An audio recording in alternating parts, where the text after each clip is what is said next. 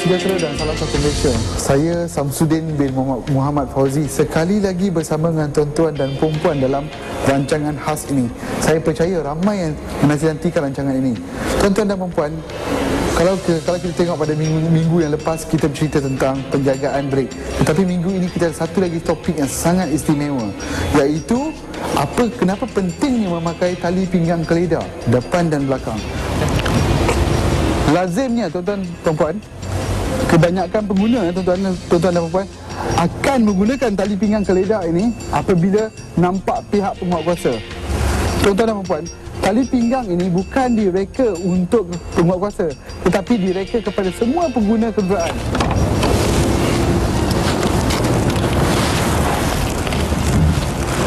Tuan-tuan dan puan Inilah tali pinggang yang saya maksudkan tuan-tuan dan puan Tahukah, tahukah tuan-tuan dan puan Tali pinggang ini bakal menyelamatkan kita apabila kita melanggar sesuatu objek yang berhenti di hadapan kita. Bayangkan, jika tuan-tuan melanggar sesuatu objek di hadapan dan kenderaan ini dipandu dengan 80 km sejam dan selepas semasa pelanggaran tersebut, badan kita ini atau kepala saya ini akan menghentam steering ini dengan kelajuan 80 km sejam juga. Kenapa tuan-tuan?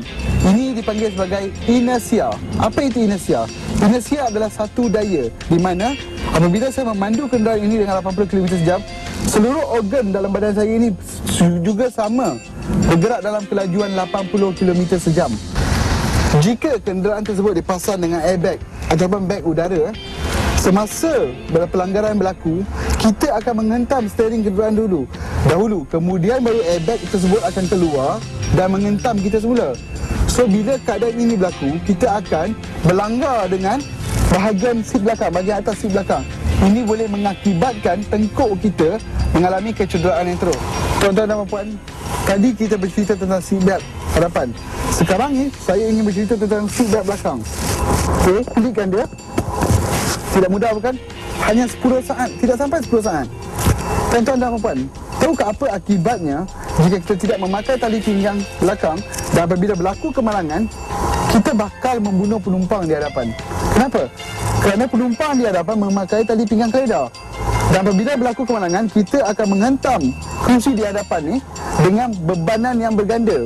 Bebanan berganda bermaksud berat badan anda akan berganda-ganda. So, bila kita menghentam, so penumpang di hadapan ni akan cedera parah ataupun meninggal serta-merta disebabkan terjerut dengan sidat di hadapan. Kita tuan dan perempuan, kita sudah sampai kepada penghujung rancangan. Seperti minggu-minggu yang lepas, pada minggu ini juga kita ada kuis keselamatan jalan raya. Kita tuan dan perempuan, soalan saya yang pertama.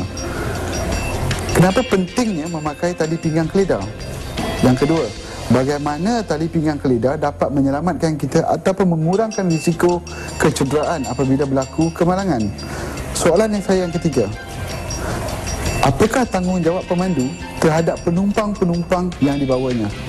Selamat mencuba tuan-tuan dan puan. Telefonlah nombor telefon yang tertera pada kaca televisyen tuan-tuan dan puan sekarang. Okey, hadiah kita ditaja oleh AFI Brake iaitu sepasang pelapik brake. Hadiah kita yang kedua adalah topi keledar dan juga baju pemantul cahaya yang disumbangkan oleh Jabatan Keselamatan Jalan Raya Malaysia. Selamat mencuba. Kita berjumpa lagi di minggu hadapan.